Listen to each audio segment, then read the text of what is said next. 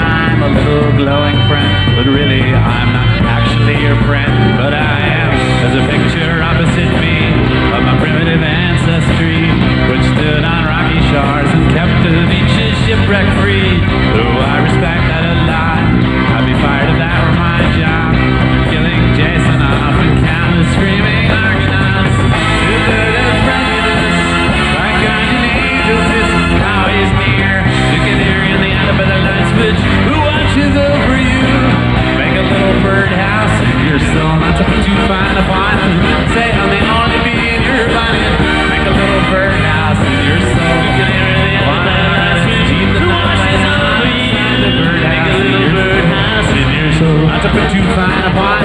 Sitting on your bed, you're fine.